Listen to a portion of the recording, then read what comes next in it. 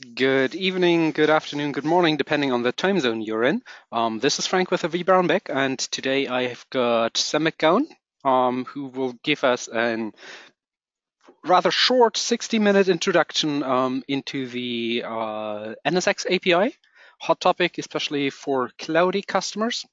Um, but also if you're into automation, um, a- a- API is, is a keyword everywhere. I, I, I think I've um, I've seen that pop up on every booth now, um, on every trade show that I've been to. Um, it's if, if if it doesn't list API, it's not hot anymore. Just a bit of housekeeping before we kick off. Um, as always, you can reach us via the normal Twitter handles. Um, I'll be monitoring Twitter on the vBrownBag hashtag throughout the show as well. Um, if you actually do want to present on one, um, also feel free to get in touch. Um, if the EMEA time zone doesn't suit you, uh, we do have other shows running on a weekly basis as well. Um, so feel feel free to get in touch if you want to present. Um, you can ask Sam after the show if it if it actually hurts or if if I'm okay as a host. And with that, I'd say over to you, Sam. I'll give you a presenter. Thanks, Frank. Uh, so, hello everybody. Um, my name is Sam McGeown. I'm just going to get my presentation up and running.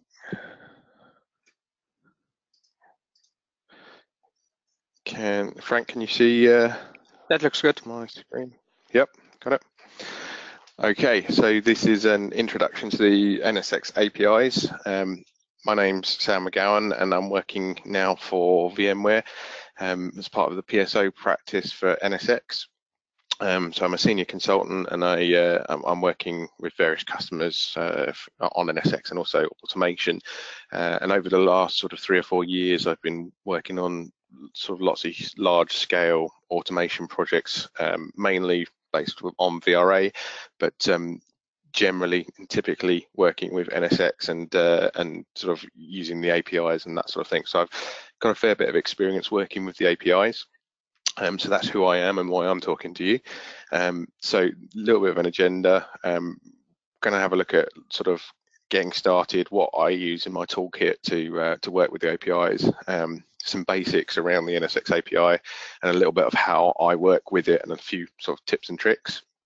Um, I'm going to look at the NSX API structure, so where everything is within the API, um, how you get to things, what, how you find things, um, and then uh, I'm going to do a little, little, bit of a demo of you actually using the APIs. So hopefully that will be interesting for everyone, and I won't run out of time and I won't go too quickly. Um, so without any further ado, um, uh, what's in my toolkit? So uh, I think most people probably working with APIs are probably looking at a similar sort of toolkit. Um, the main thing that I use is Postman um, which is a free download. It, it's a Chrome extension effectively. Um, and the URL's on the screen. Um, I like using Postman. It's got a little bit of automation itself. So um, things like you can you can take results, test results of queries and push them into variables and things like that. You can sort of automate your automation a little bit and automate your testing. Um, one thing that uh, I'll put up there is, is to disable SSL verification. Every single every single time I install Postman, I forget that I need to disable SSL. And if you're working in a lab or working with self-signed certificates, it'll just fail, and eventually you'll figure out that it's because you've not disabled SSL ver verification. So a uh, little tip from my toolkit there. Um, Visual Studio Code uh, I use for uh, writing PowerShell, writing Python, things like that, um, and also for wrangling JSON and XML files around. Um, I find it a very good editor, um, and if you're certainly if you're programming other languages, then it's uh, it's very useful. Um, PowerShell and uh, specifically for NSX, I use Power NSX. Um, it's it's pretty awesome. It's it's a great project. Um, huge amount of work's gone into it, and it's it's excellent for uh, looking at examples of the API calls that you're going to do.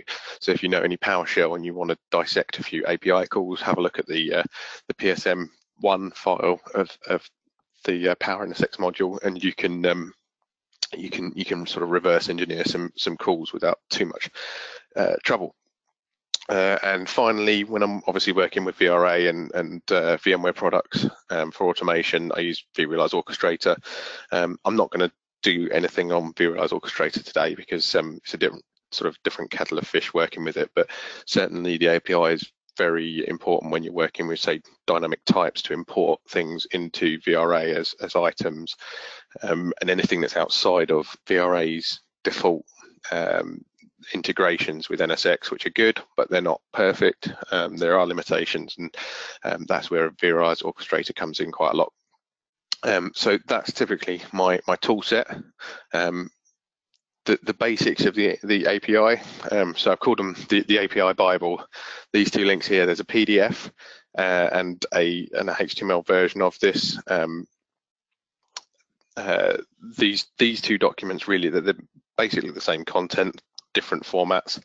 Um, these are your reference guide for the API. Um, quite often I'll bang my head against the wall for a while and I'll flick into the API guide and I'll see exactly what um, what I was looking for. I just missed it before. So um, it, these really are very good documents and uh, very detailed, and they give you a lot of information about what you need to do. So that yeah, they are your Bible.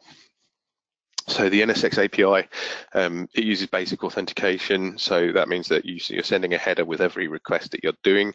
Um, the uh, the API runs over HTTPS, so it's TCP over 443, um, and it's using the same certificate as the web interface for NSX. Um, so it's pretty standard, pretty easy to access across firewalls and that sort of thing. Um, pretty much every, in fact, every uh, request that you're going to do is going to have a content type application XML header, and mm, the majority of the responses will be application XML. Um, there is a sort of unsupported JSON um, API. Um, I much prefer working with JSON than XML, but um, the, the, for sort of production environment, the only supported uh, method is using the XML. That's a little gotcha I've, I've, fallen foul of before. I spent ages designing at a customer for uh, JSON and then realised I had to transcribe everything into XML. Not my uh, not my finest hour, I don't think. Um, you can also use um, different query parameters. Um, most uh, most frequent ones um, having a start index and page size uh, within the query to to paginate results. So if you're listing a whole bunch of uh, virtual wires, you might see um, return them 20 at a time to look through them or something like that.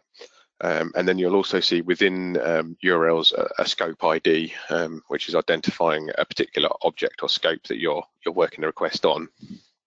Um, so those those are sort of the, the basics. Um, now the other things that you need to look at when you're working with the APIs, you're going to need some object IDs um, from vCenter, and there isn't really a glamorous way to get these. This is um, browsing to the managed object browser on with uh, logging in with your uh, your credentials and clicking through and finding the the object IDs that you want. Um, it's possible to get them from PowerShell um, and you can use you can use the vCenter API for that. Um, but the, the, simplest way is to uh, is to click through, and uh, I've just listed out here the common ones that you'd use would be a data center ID, um, a cluster or a host ID, resource group IDs, um, distributed switch IDs, port groups, and VMs. Um, there is really actually a, a third way to cheat. if, if you click an object in the vSphere web client, um, the URL will also usually contain the MoRef ID of, of that object. Uh, that's good to know. Yeah. Uh, it's it, slightly it, easier than clicking through the, the object browser.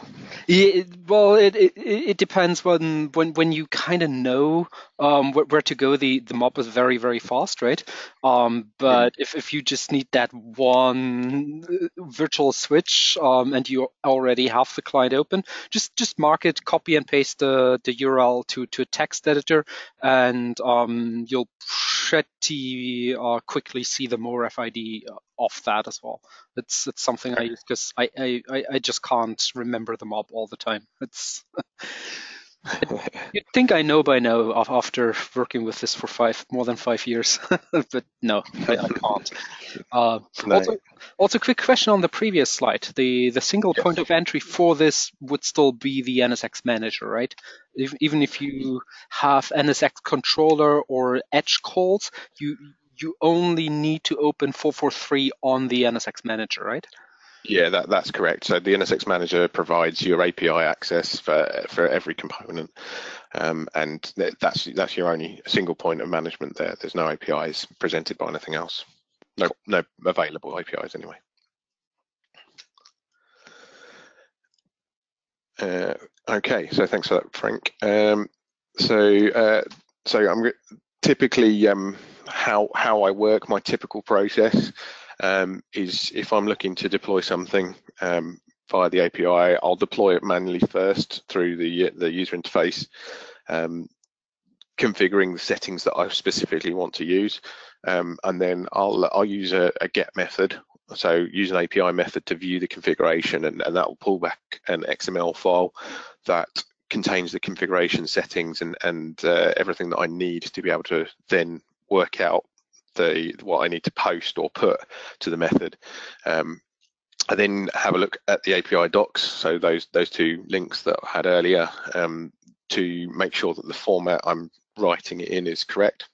Sometimes the format that was returned is slightly different um, from the format that you need to push. For um, for example, with edges, um, if you look at the look at an edge configuration, it'll pull back a lot more information than you actually need to push to it, and it'll be in a slightly different format.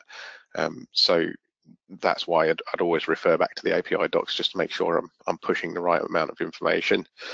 Um, I'd then uh, test run the method in Postman, so I'm manually posting to uh, to the API um, just to check that something's actually working how I expect it to work. Uh, and then once I'm confident that I've got the format correct, the values correct, and all that sort of thing, then I'll start to write the uh, the actual code to generate that. So whether that's in PowerShell or VRO, um, I'll, I'll that's that's my my typical sort of process for for getting to the point where I'm writing code. Um, quite often, as I mentioned before, PowerNSX has, has probably already written some code to do what you want. Um, so it's I find it immensely helpful as a reference um, for for API calls that um, and and just the, the order and the method of doing things um, is very good. So you can dig through that uh, PSM1 file uh, have a look at the code, and uh, and that's that's all up on GitHub and stuff. So it's a great resource for actually learning the APIs as well. Um, one thing that really helped me is actually learning my HTTP error codes. Um, although like Postman is quite helpful, it'll tell you what the codes mean.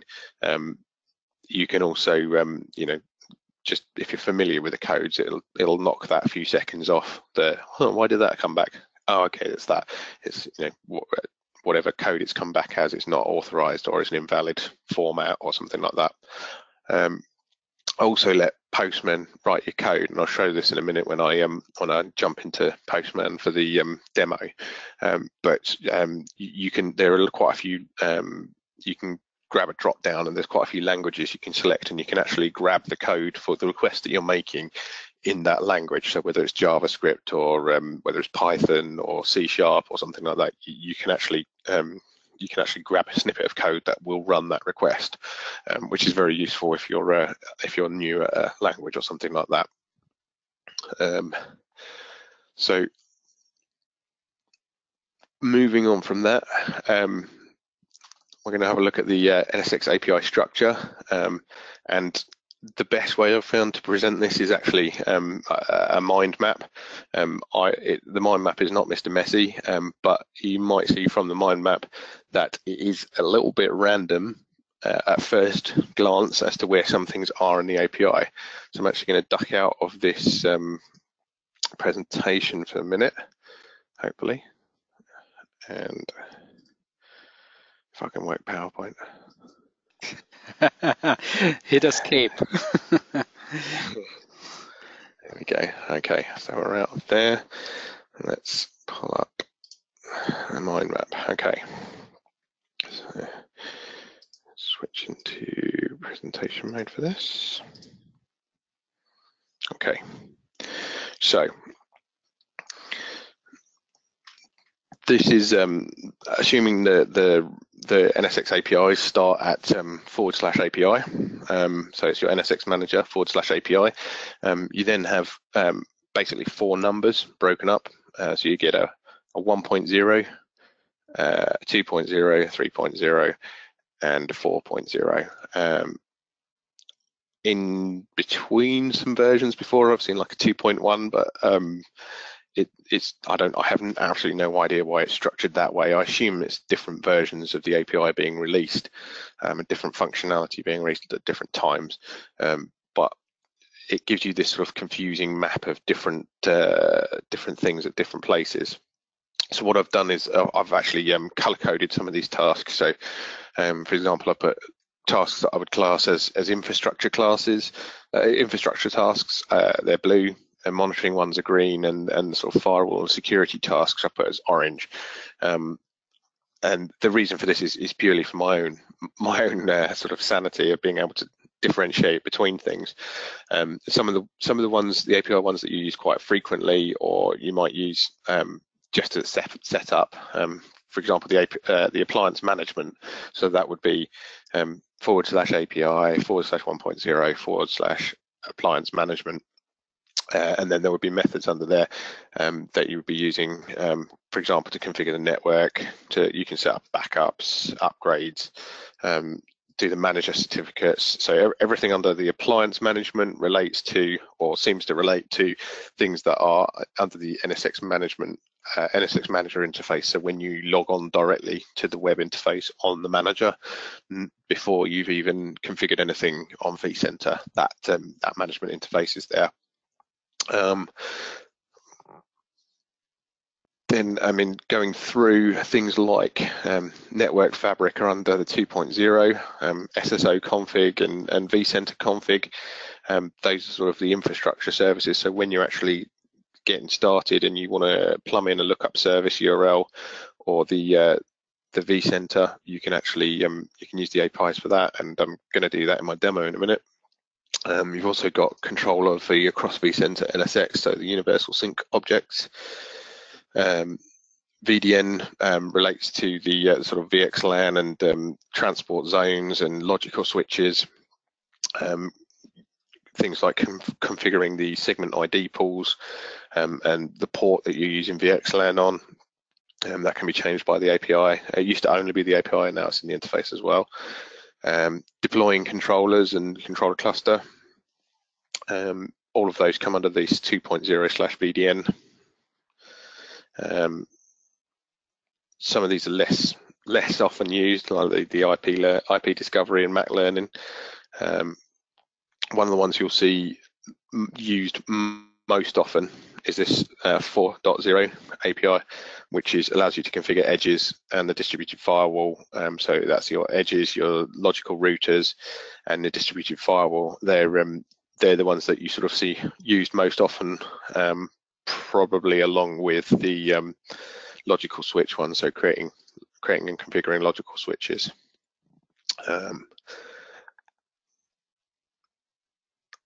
so uh, I mean, if, if if I zoom out a little bit, you can see that it's actually quite a sprawling API.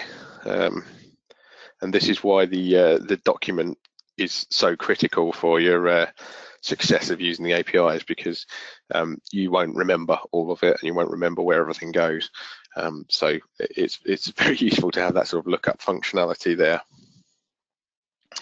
Is is there any any functions that you would say stand out that that are API only at, at, the current release that you would be aware of? Like you, you mentioned the um, the VXLAN port change um, was eventually um, configurable via GUI. Um, is, is there anything on the top of your head where you would say this is an API only task? I don't have a GUI option to co actually configure this. Not that I'm aware of. Um, I don't think so. No.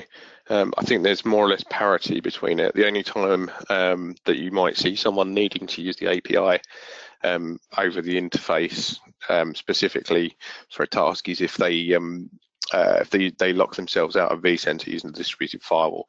So you have to recover by um, by deleting the distributed firewall rule sets. because the the uh, NSX uh, manager will automatically be excluded from the uh, distributed firewall. That's the only time I think at the moment that I would see the API only kind of config, and that's a very niche circumstance which you shouldn't say, let yourself get into really. Makes for a fun support call. yeah, um, I'm sure they're, they're uh, the most fun kind of support calls. Uh, okay, um, so uh, I just mentioned if anyone wants this mind map, I've put a PDF up on, uh, on uh, GitHub with um, the the uh, Postman collection of what I'm actually going to demonstrate in a minute. So um, that's uh, uh, that's all available, and I've got a link at the end. So if anyone wants to grab a PDF of that, then that's more, you're more than welcome to do so. Um, I'm sure we can link in the notes or whatever. Um, oh yeah, so, yeah. if if if you have it on GitHub, I'll include it in the YouTube recording link as well. Perfect, perfect. Sounds good. Um, let's jump into a demo. So um, here we've got some some API calls that I've handily prepared earlier. Um, but before we look at that, let's just have a quick look at the environment. Um, so uh, this is uh, I'm working in a nested environment because that's what my lab um, is set up to do. Um, so just this is the outer vCenter, the, the vCenter that's managing the physical environment. The uh, inner vCenter is what, what I'm actually going to be configuring. So you can see here I've got three hosts configured. Um, they're, they're, they're, there's virtually nothing done to it except for I've, I've created a VDS and the hosts are all using the VDS. Um, and the hosts have vSAN configured, so I've got some storage available. Um, but uh, the environment itself is, is nested and it's this pod 205. So you can see I've got the three ESXi hosts. I've deployed an NSX manager. Um, so that's the OVF deployment. Um, and then I've got a platform service controller and, and a, a, VCSA. Um, so that, that's that's the whole environment that I'll be working in. And it, how that manifests here is, is just as a sort of v, empty vCenter in this case. Um, you can see that uh, NSX hasn't been installed yet. It's not been uh, connected to vCenter. And uh, this is the vCenter, uh, the NSX manager for that environment. And um, you can see that it's it's been deployed, uh, but there's nothing configured on it. Um, so we've not even we're not an NTP server set up, not a syslog set up. It's all pretty much uh, bare. Um, so um, let's flip over to Postman. Um, so the two the two files that I've put up on GitHub, uh, this um, NSX uh, NSX API um, folder here, which is all these uh, these methods, and then also I have this uh, environment. So um, if you're not familiar with Postman, you can configure environments, um, and you can see that within this nested environment, I've configured some usernames and passwords, um, some some generic stuff that I can put into the uh, into the queries. Um, so, quick question for you before you start. Do yes. you mind showing where to go to uh, configure the SSL thing that you mentioned before, so that we have that on video as well? Yeah, sure. For, people new to this, um, it, it is super frustrating. I think at the first time around, it cost me like two hours to find this setting, and I was wondering, yeah. God, what am I doing wrong? Yeah, it's it's when it's the first time it's fine. When it's like the fifth time you've installed Postman and you're still doing it, then it's then it's really irritating. Um, yeah. So by default, when when you install this setting, SSL certificate verification is is on, and you just need to flick it off. Um, and that's that's um, I mean I'm on a Mac here, but um, that's preferences. I assume it's very similar in, in the PC as well. Yeah, um, but that's that's literally all I do. Just flick off the SSL verification. Um, so um, just to just to wet our um, wet our whistle a little bit. Um, the first call I'm going to do is just to configure the NTP um, before we do anything more complex. and you can see here that first of all I'm setting an authorization header So I'm, I've selected basic authentication. Um, remember I said from the, the, the API basics that it's, it's basic authentica authentication. Um, and then I've got these variables here, NSX admin and NSX admin pass, and, and these two curly brackets are basically how you access uh, NSX admin and NSX admin pass are the two variables that I'm accessing there. Um, so uh, you can actually have multiple different environments. And so when, when I select, that one that's connecting to my lab with, with a certain set of variables, That's my vCenter, that one's one of my web hosts, things like that. So um, there's it's quite uh, useful functionality to be able to um, to just configure some environment variables and be able to move between environments very quickly. Um, the next thing we're going to check is the headers. So um, I'm requesting content type application XML, and as I mentioned before, most of the um, most of the APIs will automatically return um, XML, um, but um, you can also actually specify accept and then the value of application XML. Um, and that's that's that's two headers just set there. But the one you absolutely must have is um, content type. Uh, and then finally, there's the body. Um, so this is what you're actually. Um, I'm making a put request here, so I'm putting this content to the API. Um, and generally, a put is when you are um, updating some configuration that's already there. So there's already some settings or you're updating some settings. Um, so in this one, I've got a, an NTP server in my lab, um, and I'm going to push up the time zone as UTC. Um, and it's just a standard XML text document. Uh, and it, it is as simple as uh, NSX Manager is an environment variable as well um, from that, that uh, API call. So it'll be sending it to the IP of my manager, API, uh, 1.0 appliance management system time settings. Um, so when I actually send that, it will send the request and then we'll get a response from the uh, the API. There we go. It's a little bit slow, but um, the API response is, remember I said about the status codes, HTTP 200 OK. Um, you can you can see the response. Um, you can see headers and everything like that so you're able to break it down and have a look at things that's sometimes useful sometimes not. Um, but this body is the is the raw is the raw response xml formatted from the uh, from the api and that's just confirming that date time setting that I've just done. And if we switch over to uh, the NSX manager we can confirm yeah actually I set that API to my NTP server. Um, not the most exciting of API calls, um, but it's a good little getting started uh, call. Uh, so just just quickly on the return to codes, um, the the 200 is normal, right?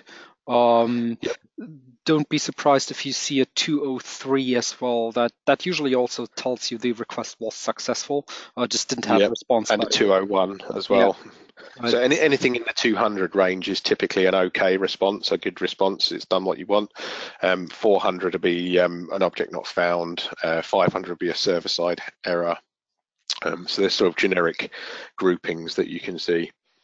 400 um, usually means you fat fingered the the body. yeah, you maybe have done it. But the interesting one with um, the NSX API is when it returns a 419, I think it is.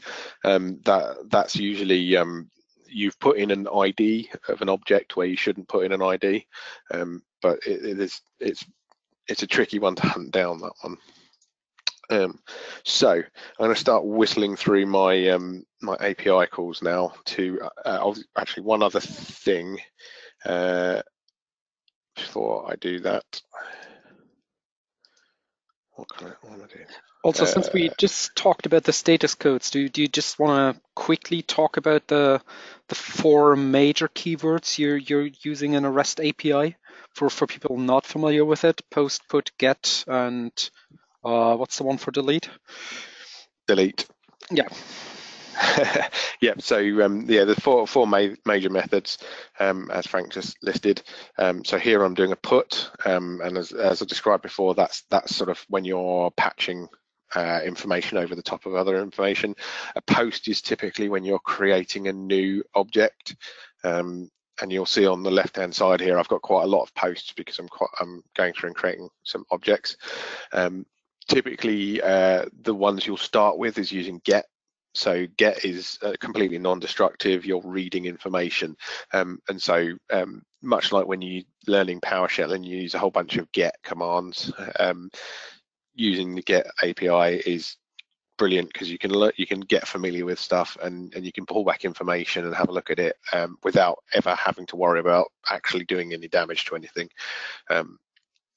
Um, and then finally the uh, the delete method, which is um, uh, I'm not actually well, I can I can probably demonstrate that at the end if I hurry up.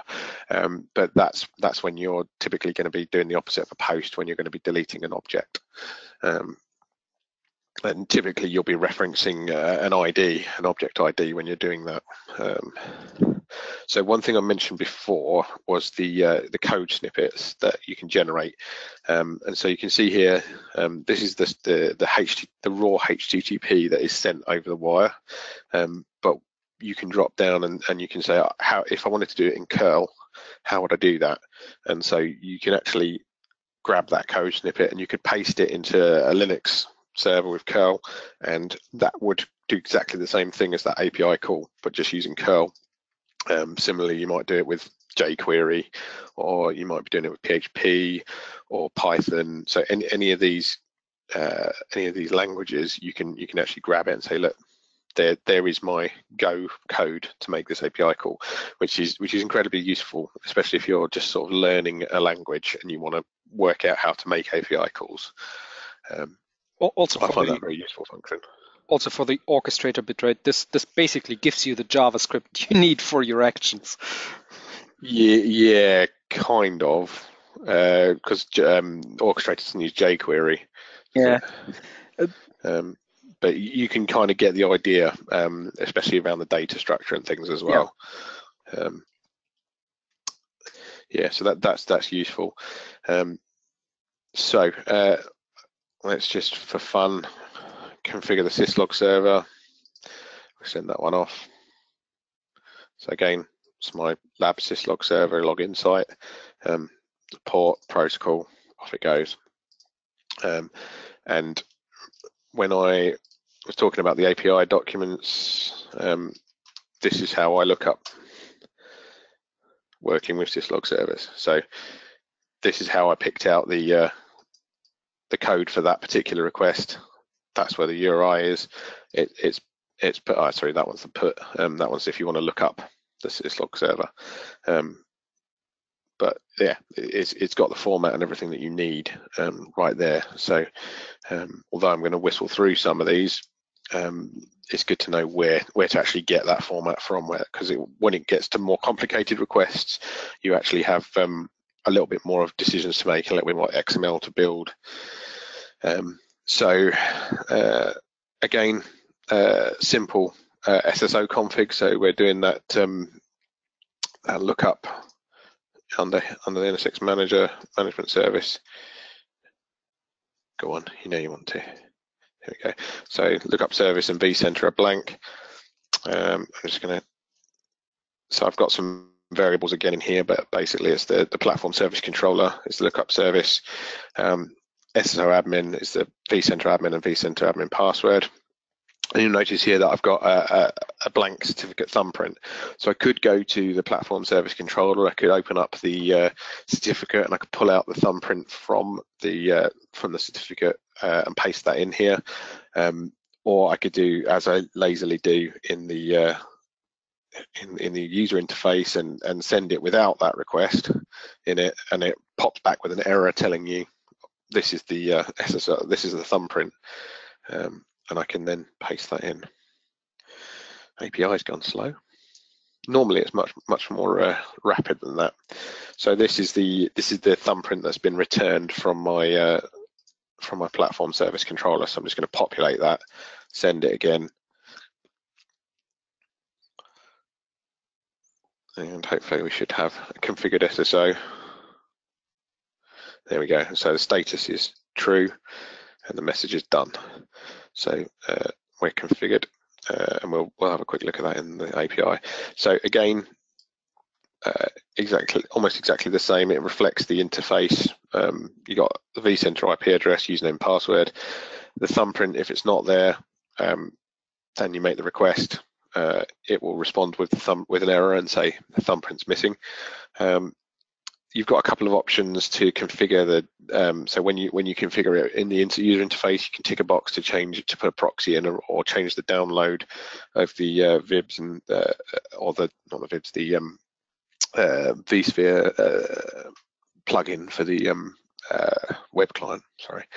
Um, and then this assign role to user um, defines whether you assign the admin role, so the, the um, enterprise admin role to the user that you're using to configure the connection.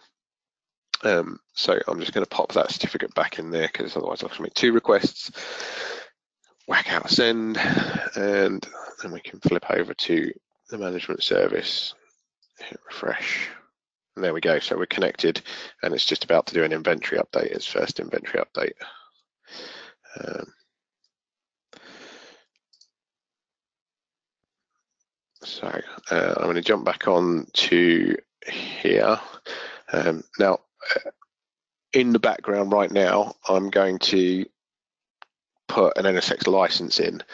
Um, the reason I'm doing that in the background is because uh, I don't want to show everyone the NSX license that I'm using.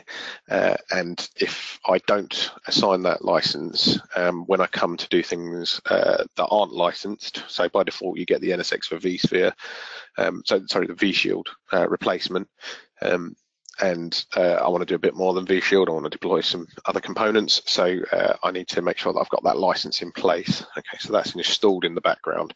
Um, now we're still not going to see anything in here until we log out and log back in. And then we should see that inventory's been done and Oh, this can take a while, right? Up to five minutes to just load the plugin. no, not in my superb, super fast lab. It'll happen in seconds.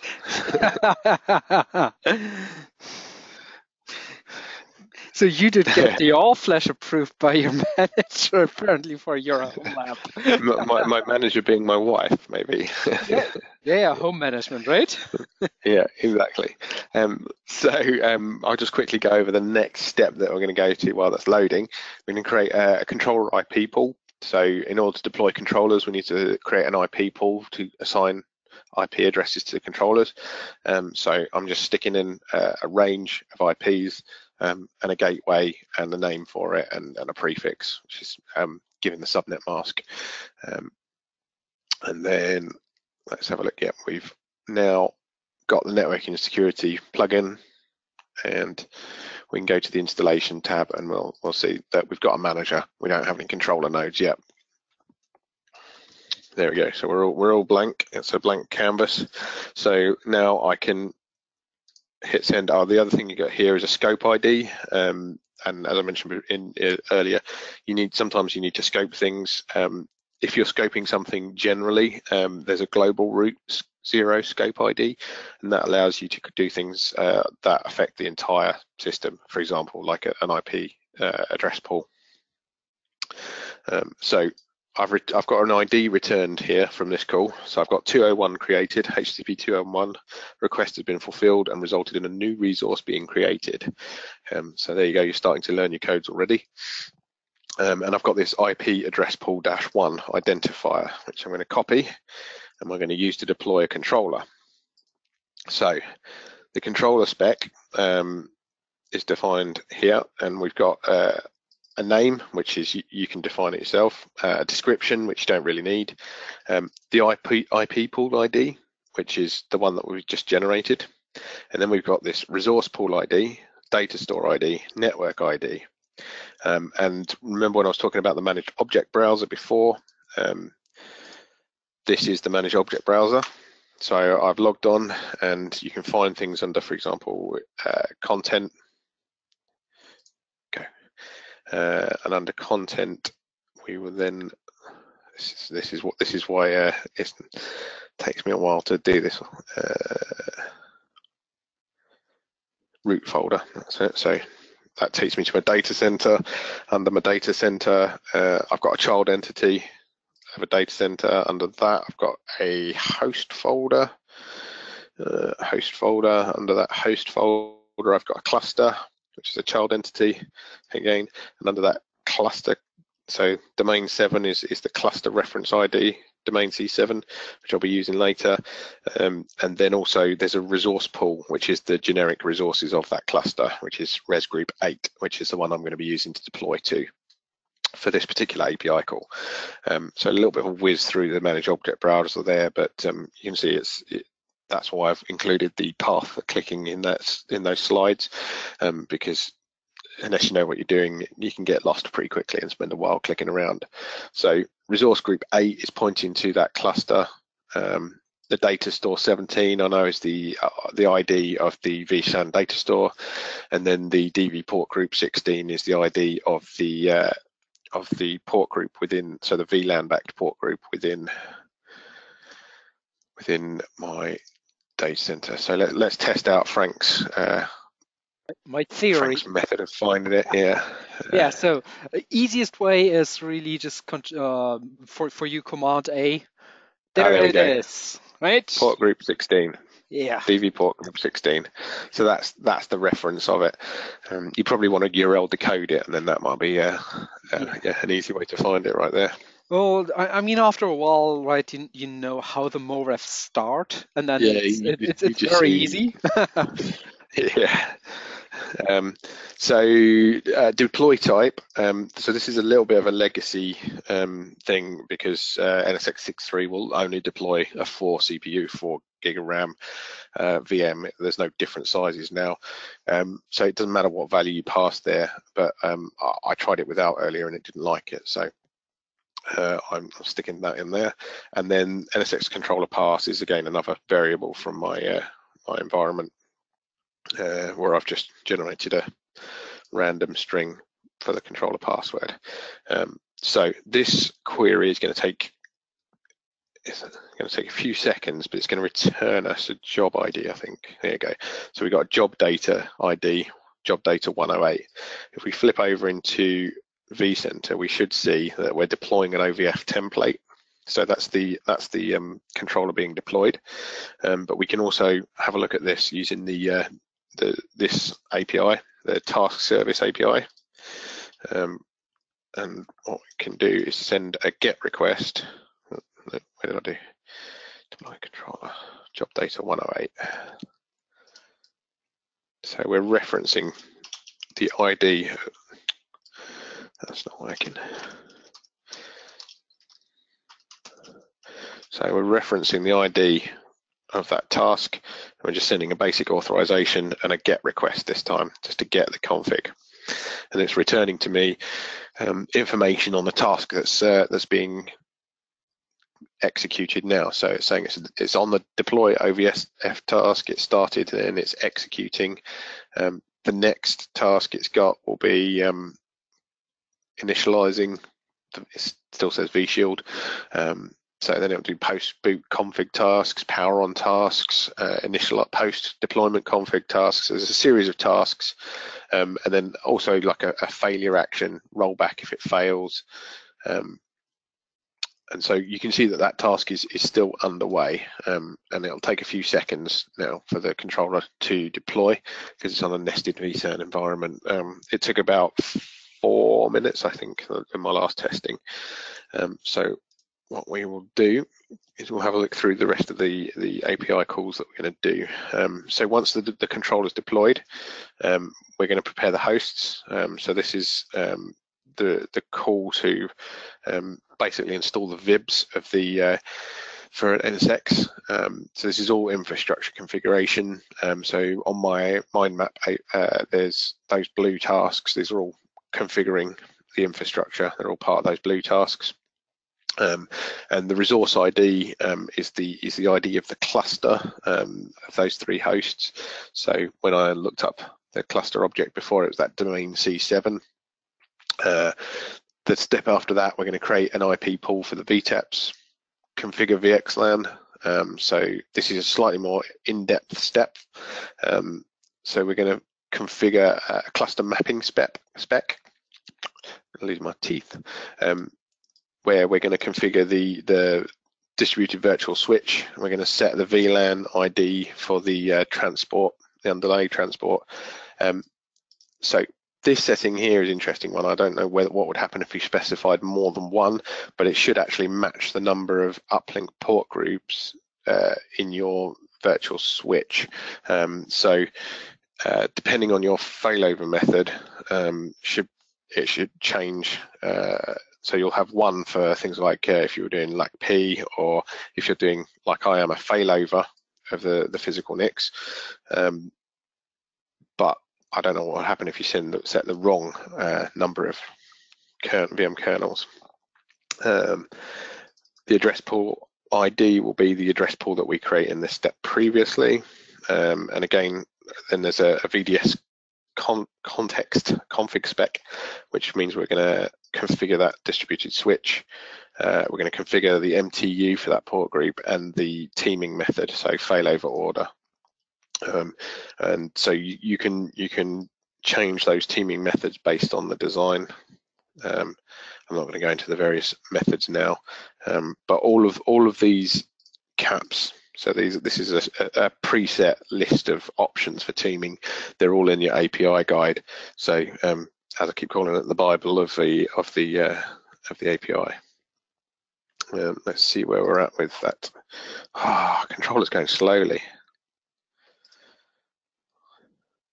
Um, after that, we're going to create a, a, segment uh, segment pool. So we're going to use segment ID just to give that VNI for um, sort of VXLAN identifier for uh, each unique VXLAN. Uh, configure a transport zone. and we're going to create a logical switch that is a transit for the transit network. Uh, deploy an edge, which will be our provider logical router, so the uh, north-south point uh, in and out of your NSX environment, and then uh, deploy a, a, distributed logical router that's connected with an interface up to the edge. Um, so that's the plan. However, well, do we the need the um, do we need the controller deployed before we can prepare the hosts? Those should be two independent tasks, right? Because the controller only comes into play once we create an actual transport zone. Um, if I remember correctly. well, let's fire away and see if it errors out. Operation. Uh, hold on. It's, not liking my license. What's wrong?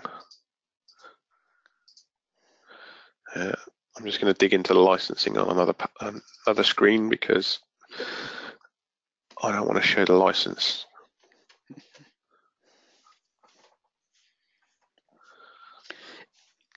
In case if the 60-day trial license is not enough for you, um, there, there's two very popular methods of actually getting a longer term license. One is to become a vExpert.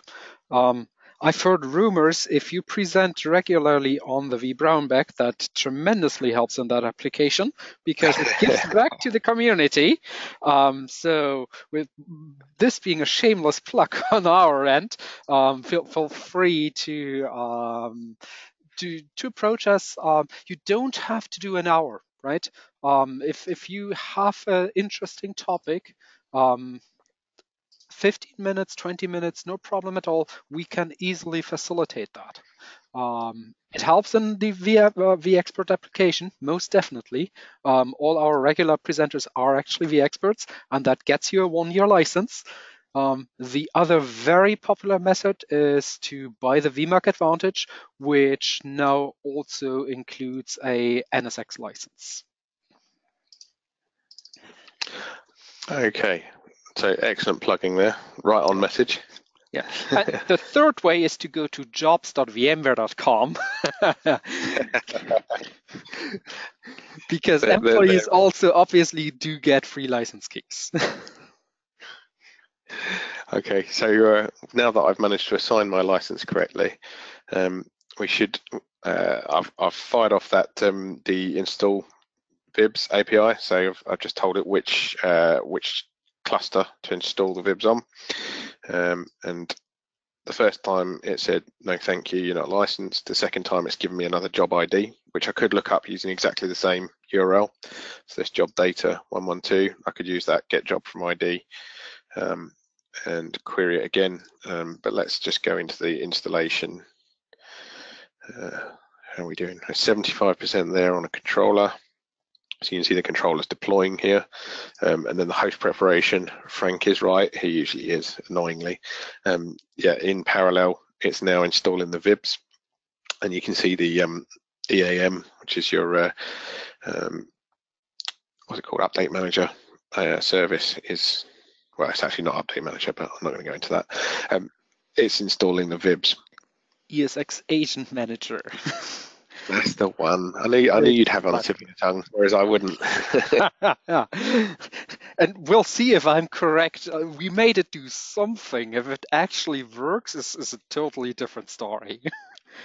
yeah, it hasn't bombed it out straight away, so that's good. Um, yeah, we shouldn't need the controller until we start actually using the um, uh, preparing for logical network. You're right. Yeah. But th this is actually a fair point on on the job task, right? Um, right right now, what you're seeing is is very little detail in the GUI, um, and rather than digging into logs to see what's my actual progress, um, because zero percent doesn't tell you much, right? Um, this this is actually a very good way to um, to do some initial uh, scoping and troubleshooting on at which stage of a deploy did you actually fail. Yep. At which um, so part of the tasks are you stuck on, right? yeah, let's let's do that job. Let's go. So we've completed the install install task. Uh, where are we? Uh,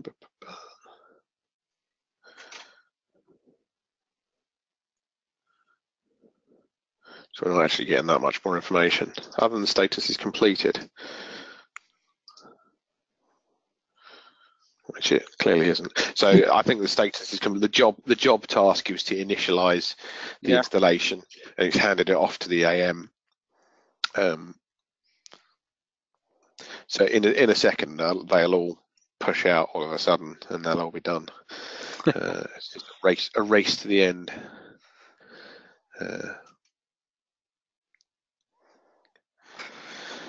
so the other tasks didn't have any pending reboots on. No, there, look. No, it's, it's, I've done this three times today already. Um, I've got I've rolled back to a clean snapshot that I know is going to work. but actually, these days it's, pretty reliable anyway. The the VIB installation, it's not like the old days.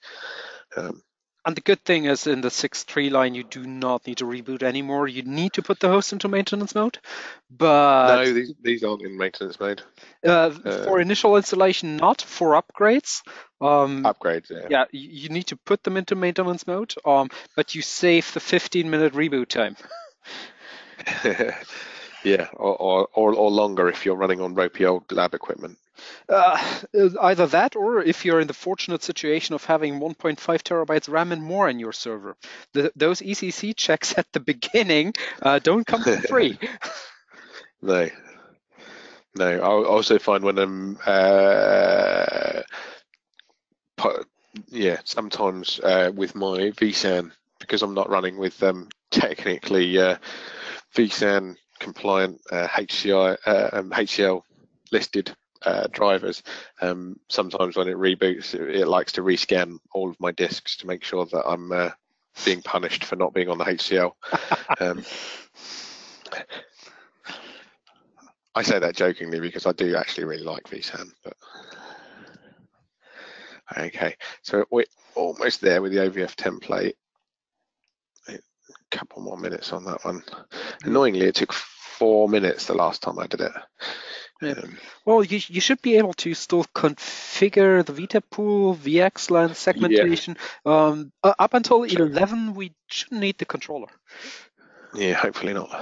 So yeah, IP pool, that's fine. It's exactly the same call as we did for the controllers. We're just creating some some more IPs for the uh, the, the VXLAN tunnel endpoints.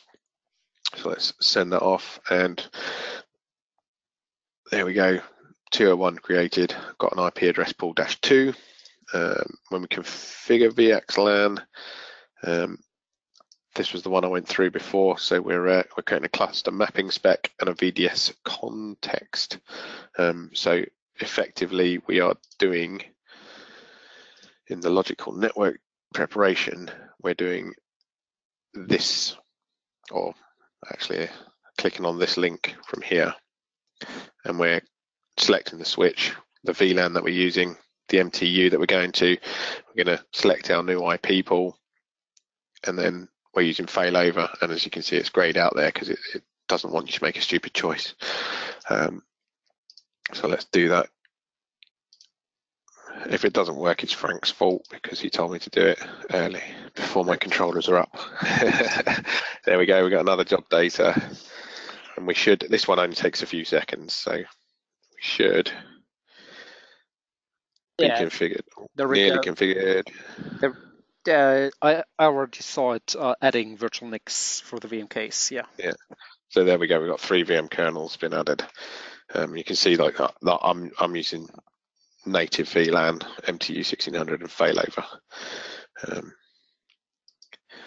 that should be, yep, done. Um, so we already did the, we haven't done the segment ID. We can do that. Let's create a segment ID pool. I've got three minutes left to get through the rest of this. Come on, it's not going to happen. That, So- that's fine. We, we can do a bit longer. We're also not limited to 60 minutes on the dot. Uh, people might be bored by now. be good to see it through. You can edit out all my ums and ahs, and you're up for editing everything, aren't you? There we go. So the segment ID pool is created, and then the transport zone. This is the one we need because we're going to designate a unicast transport zone. We need the we need this controller to be ready. Um, Yeah, it should be nearly there. I, I, It I should be. It's it's like Yeah, it, it's Ah, doing its go. last last configuration steps, then it should be done. Any second now. There you go. Power on. Auto start manager completed. Yeah. So once that once that's up, the API calls back. The private API call goes back to the uh, control. The controller goes back to the manager, registers itself, and we should be happy. Any second now. I mean, if you work in some sort of consultancy role, right? Th- those API calls you just showed, uh, put them into some script and then go drink a coffee and charge for the hour it takes. um, I couldn't possibly comment on automating customers' deployments. yes. How do you think I learned these APIs? Yeah, it's. I, I- mean, it's one-time setup, right? It's it's complete repeat, rinse and repeat for for every deploy scenario you can think of. Um, the the logical network prep, uh, the the host prep, um, in in terms of failover might be different. But if you want consistent lab builds, um, and you're you're like me and get bored after seeing this um, for the 50 gazillionth time, um, this this is the very first step to start your automation journey and and and actually automate the boring stuff, right? Yeah, yeah, definitely. I mean, um, I, I presented at um, the UK VMUG last week on exactly that, on automating. So, um, I, I, as I said, I use Nested Labs. Um, I've automated the pod deployment um, within my lab. Um, so all of this stuff is, is zero touch. I just fire off a script from a JSON file that that holds all the configuration, and I've also got it doing all of these API calls via PowerNSX.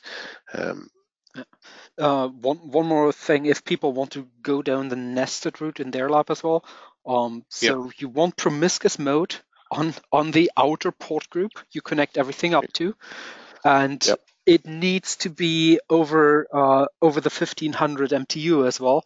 If if you want some kind of performance out of the nested NSX, because otherwise you're starting to to fragment packets and that just gets ugly.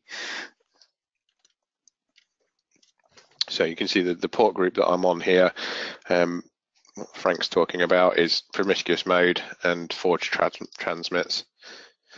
Uh, that's set to accept. Um, you can also install, there's a new Mac, is it Mac Learning switch? Um, uh, so you, it, it used to be called, oh, I forget what the plugin used to be called. There's a new um, plugin that you can install in your on your um, DVS, which uh, improves the performance of nested environments for sure. Um, yeah, it's on, uh, on the VMware Flings side. Yeah. Uh, yeah. Anyway, so uh, the MTU of this of all these VLANs is set to uh, jumbo frames now. Oh, come on, you must be done by now.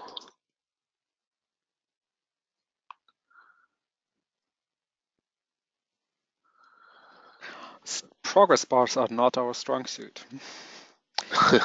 Network virtualization, on the other hand, unbeatable, but progress bars, we still yeah. struggle.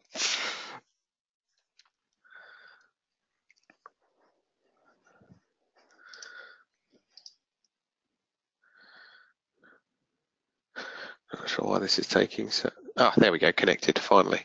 Okay, so let's rattle through those last few API calls. Um, so creating a transport zone. Um, so we're basically configuring where the transport zone applies to and the mode. Um, if you're doing universal, there's a there's a query string um, which is question mark uh, is universal equals true, um, and that would create a universal, but you'd need to change the mode for so there's other configuration you need, but um, yeah, you can do that via API. Um, so let's create a unicast. So I've created a new VDN scope, um, creating a logical switch. Um, again, very similar API call, um, a name of the logical switch, description, tenant ID if you're using tenancy, and then the control plane mode and up here you can see that I'm I, in the URL, I've put the VDN scope one, so the output of the transport zone is the scope of that call. So VDN scope one is where is the transport zone where I'm creating the virtual wire. Um, so I hit the request on that and I get a new virtual wire. Let's have a look quickly on logical switches. And you can see this is my new virtual wire transit network. Um, creating an edge. So creating an edge is a uh, there are a huge number of options you can do from an edge. Um, my advice with edges is to break it up, do the basic deployment first, and then post config for things like routing, things like uh, load balancing, all, all the extra services, post that config off on afterwards, um, because you can get yourself in very complex config files um, where it makes much uh, it's a much more usable thing if you break it up into different components. So what I've got here is a config um, that's just deploying a, a, compact one. In fact, I'll start it off now. Let's send it because um, it's going to take a few minutes to deploy. But we're configuring, for example, the appliance size, um, configuring uplink to connect to my uh, my port group, so the VLAN 205 port group, and then transit networks being configured as my internal network. Um, sticking in a password and a username, um, enabling SSH, um, doing auto configuration of the rules, the firewall rules. Um, so all of those basic components. Um, this API works slightly differently in that it waits for the completion of this task before it returns. Um, so uh, depending on how long that's going to take, it's going to do a, it's going to return that at a later stage, but you'll see it just sit there loading for a long time or for as long as the, the task is going. Um, and so I'm also going to do um, the logical router control VM, um, and it's very similar, it, although there are slight tweaks. For example, there's this management interface section, um, and the interfaces rather than vNICs. Uh, so slightly different um, configuration to the API, but if you look at the actual post, it's exactly the same API. So that four zero edges. Um, so let's ping off a DLR control VM and you can see that I'm connecting that to the, the virtual wire one. So I'm connecting it to that transit network. Um, so when the two of these are completed, deployment, the two of them can then talk to each other basically. Um, and we can see the edges config here. Um, the two of them are installing um, and we can see that the interfaces interfaces. One's one's being on that VLAN, the other one connecting to the transit network. So I don't want to go over too long because that's just boring for people. Um, but hopefully that gives you a, an insight into using the API, um, some actual API calls going on. Um, I don't know if we had any any questions on the webinar that um, uh, anyone wanted to. So, so far not. If you have any questions, um, there is an actual questions panel. Um, also, one last thing be, before we stop, do you just quickly want to show one PowerNSX uh, call, maybe? Because I, uh, I, I think it's yeah. a really really cool interface.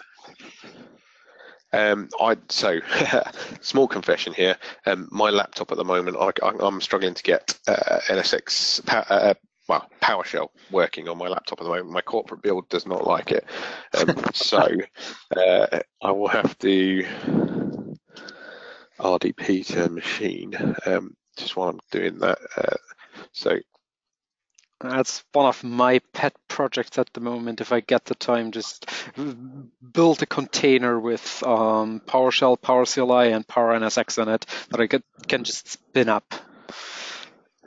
yeah, um, I, I, yeah. So I do have Docker running on this machine. Um, let's see what I left running on here. Okay. Uh,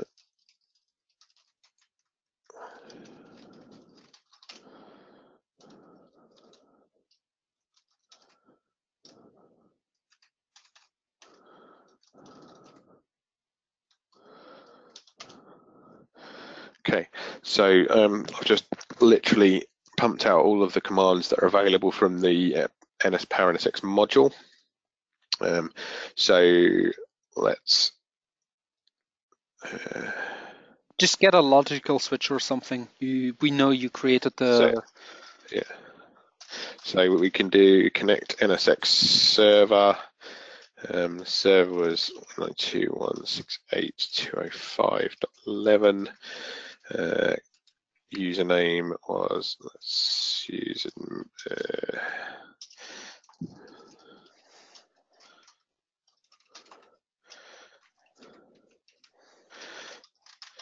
this is all a nested lab, so I'm not too worried about giving off my password. Oh, it's your super secret password that nobody else nobody ever uses that out. everywhere. Yeah. It's Uh, what am I doing wrong?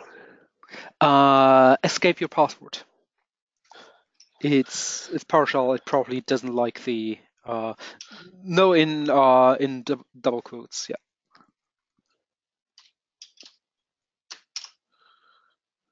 It probably doesn't like the exclamation mark. Uh, let me.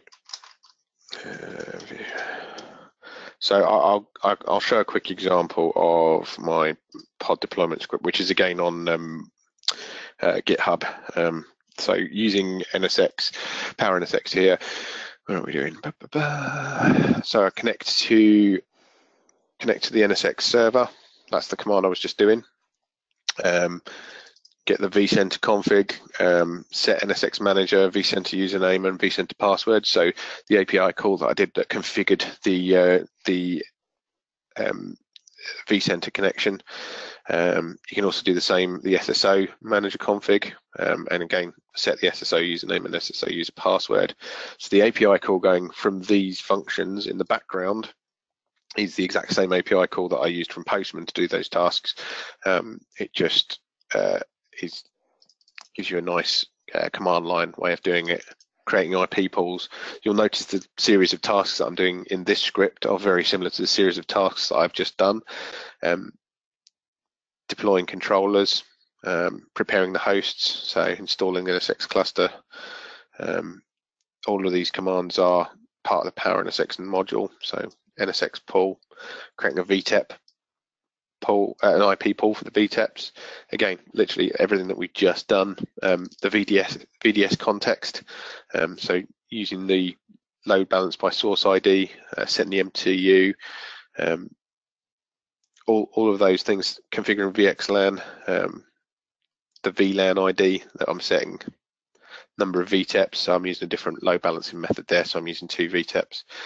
Um, creating a transport zone, all those sorts of things. Um, I don't think I'm going to troubleshoot that connection to the, I think it's probably to do with my certificates and the level of acceptance I've got on my certificates there. Um, but you can see it's it's hugely powerful. So um, all of those API calls to configure NSX are in this block here. That's that's just does all, all of that configuration for me. Um, so Power, PowerNSX is is a fantastic tool. Um, yeah, I don't think you want to see me troubleshoot that in, on live on screen. No, um, that's fine. we just needed to so, bridge time until your routers are deployed, which just happened. yeah. So um, the resources I was talking about, the um, URL is here, the GitHub. Uh, so it's on uh, vBrownBag NSX API. Um, I've got a Postman collection, uh, which is the requests that I've used in this demo, and also the environment. That, so if you want to download it, um, you can download it, install, um, import them, uh, edit the environment, and put in the values for your environment, and um, yeah, you can use that yourself. Um, and just get familiar with the API calls, have a little kick the tires, um, uh, and also that NSX uh, API mind map um, is up there as well, a PDF version. Um, and were, I don't know, if, were there any questions? I don't know which. Um... Nope, no questions so far. No, no. Um, if, if you do not have the license, the kit, etc., to play around with this, but want to familiarize yourself with it, basically every VMware hands-on lab template that includes NSX also should include Postman. So um, there, there's nothing preventing you from not destroying your production environment while experimenting around. Um, and for me, my lab environment is production because I need it for customer use cases.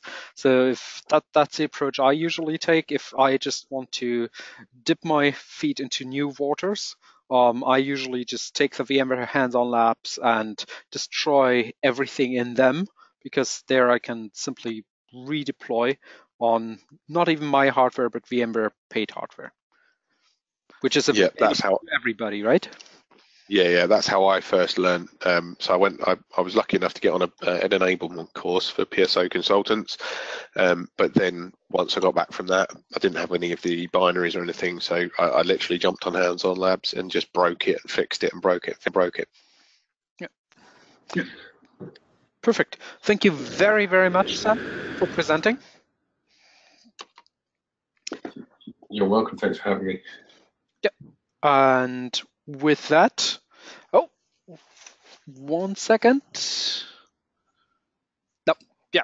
Audience also says, great presentation. Um, thank you very much. Thanks very much. Okay, cool. Then I'll stop the recording and uh, this should be up on YouTube in a couple of days.